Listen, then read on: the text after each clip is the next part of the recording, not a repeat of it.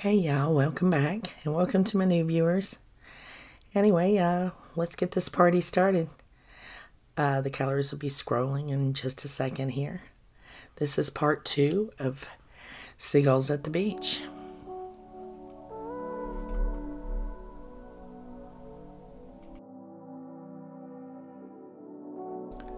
I'm going to be mixing up a few colors before we get started. I'm using a new color that I very seldom use. You don't see it much in nature. It's uh, a phthalo turquoise. Now, turquoise is a color that is natural in nature, but I can't say that I see it around here a whole lot. Anyway, so we're going to mix it up. And I also have the colors left over from the sky because the sky is reflected off the water. So we'll be putting that in as well. So uh, let's get mixing. We'll be mixing some of the cerulean blue and white along with the phthalo turquoise and the green. And we're going to come up with a nice color for the water and start putting that in. And again, can't stress the fact that your horizon line needs to be extremely parallel. You don't want your water running off the side of the canvas. Now I'm just trying to get a nice base of color across the bottom there where the water is. And from there we'll add more colors to it. But for now we just want a, a nice coverage of the canvas, that's all.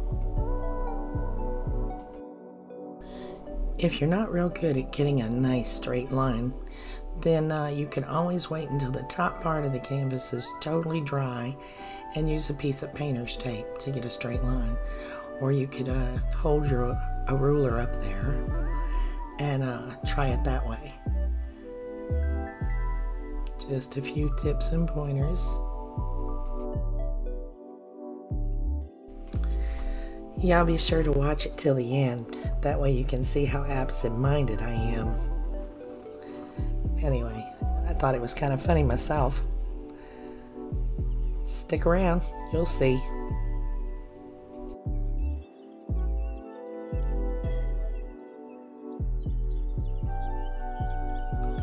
We're adding in some of the sky color, a little bit of a darker color, the phthalo green mixture, back and forth, you know, trying to create those tiny little waves off at a distance.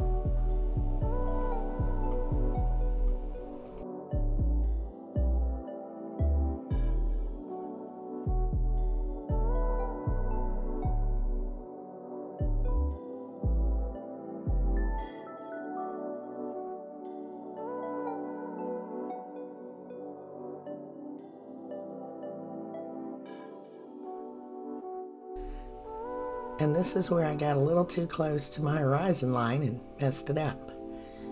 But in a second, you'll see I come in from the top with sky color, color of the clouds, and uh, clean that up a little bit.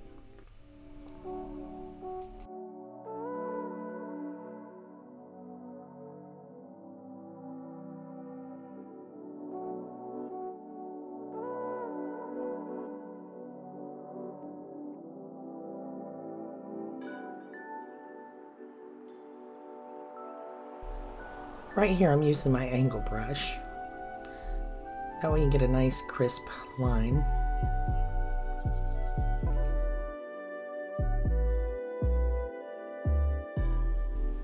Before that I was using my fan brush to get the color on the water there. It's good for spreading it out quick.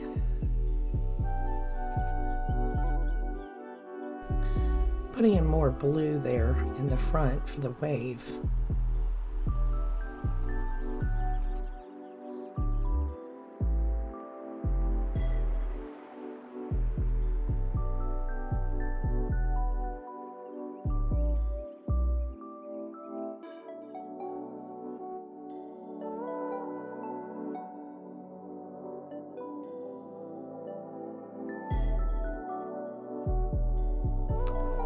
Also adding in little spots of dark, dark green there, the phthalo color. And uh, That's the shadows in the wave.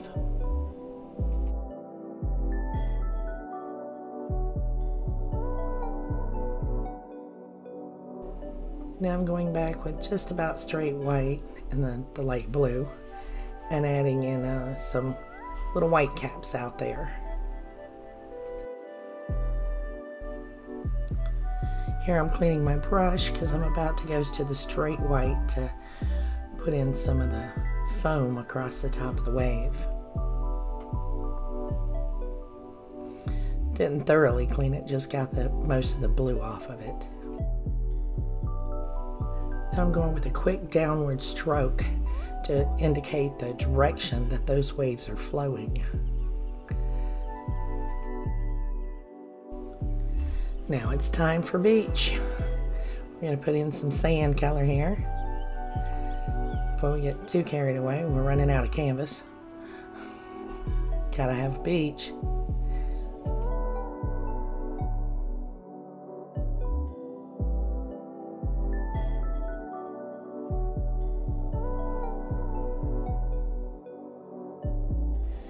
We're painting that beach in at an angle because that's what way the water would naturally flow in. So we want it to appear that the water is flowing across the sand.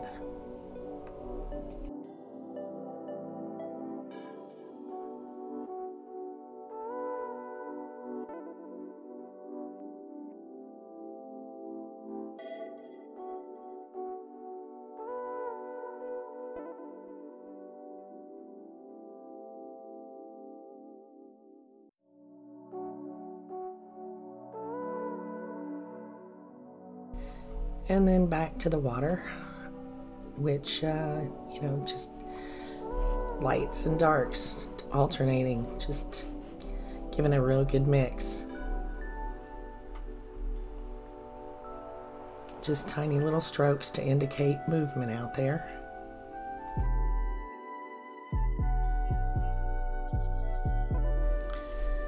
Now I wish I would have stopped somewhere around in here because in a minute you're going to see that I put some more waves out there.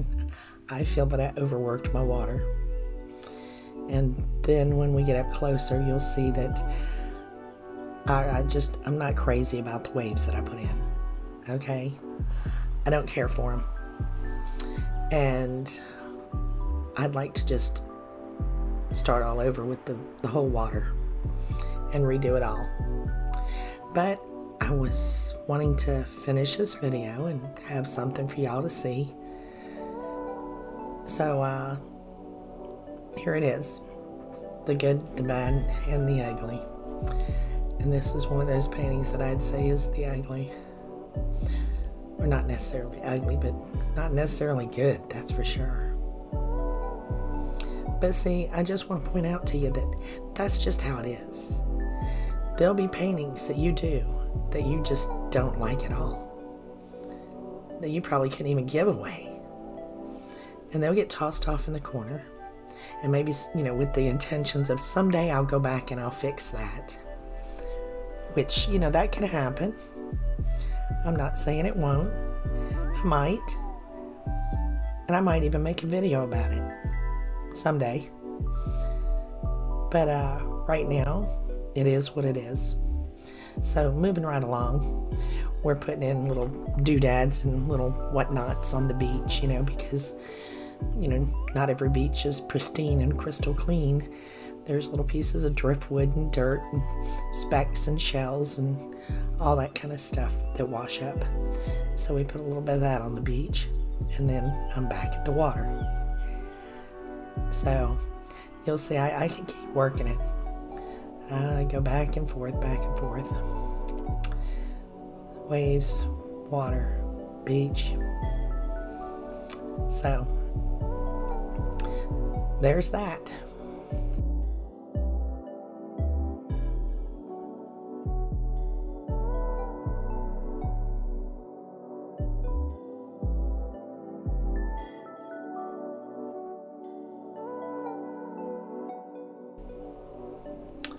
A light shadow in underneath the foam as it washes up on the beach. But I'm going to go back and uh, tone that down just a little bit as well.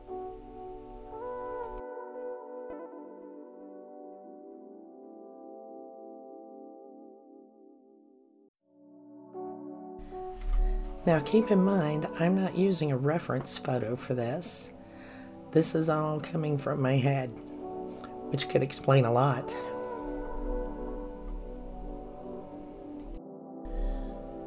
Putting in some little white streaks down there to indicate the foam washing up on the sand, or washing out, depending on how you're looking at it.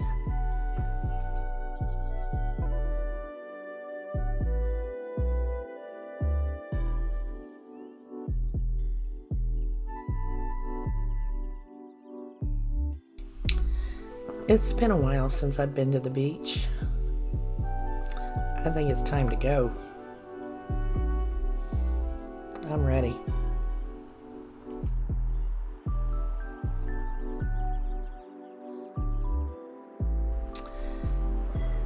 Need to go get away and take my camera with me and get some really good reference photos of those waves so I can know how to paint them the next time.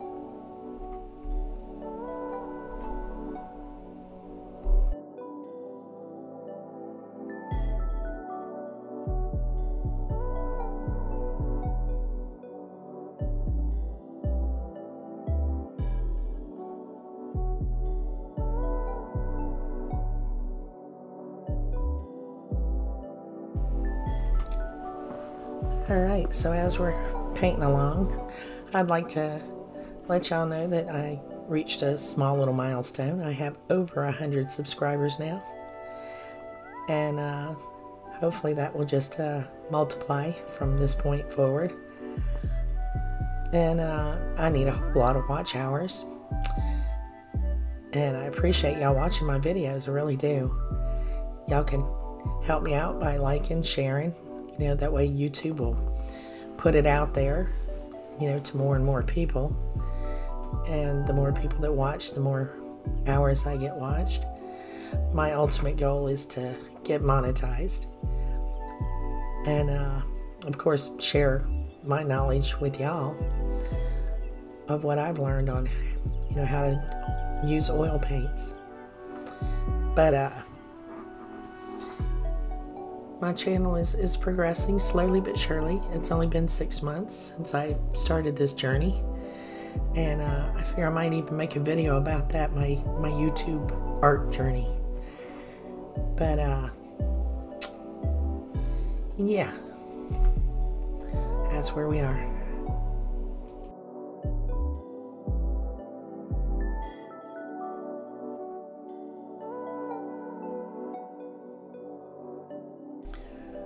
More white caps. It's pretty rough seas.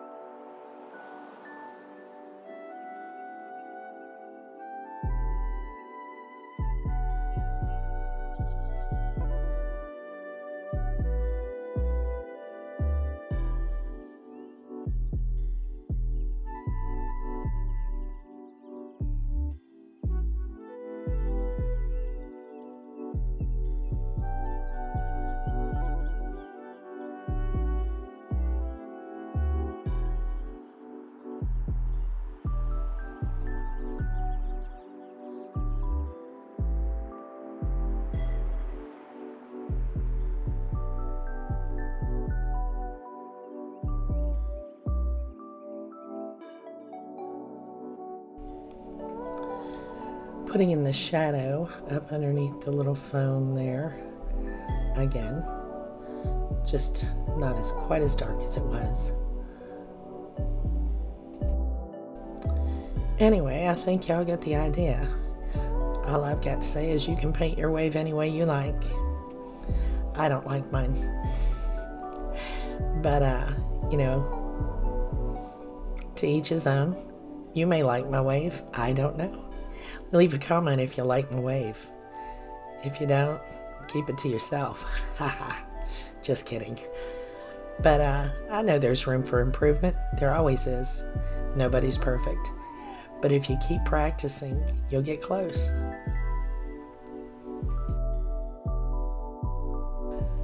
Okay, so here's the funny part. Uh, it's seagulls at the beach. Do you see any seagulls? Neither do I. I've already signed it. But guess what? I went back and put seagulls in after the fact because I forgot. I forgot to paint seagulls. Anyway, there's one on the beach and there's two in the air. And, uh, yeah.